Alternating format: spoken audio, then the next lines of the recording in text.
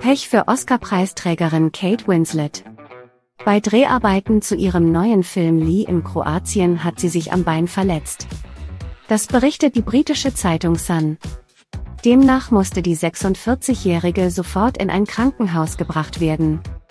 Auf Bildern der kroatischen Presse sieht man, wie sie in Begleitung ihres Teams in der Klinik ankommt. Nähere Details zu ihrer Verletzung sind bisher noch nicht bekannt. In Lee spielt Kate Winslet an der Seite von Jude Law und Marion Cotillard.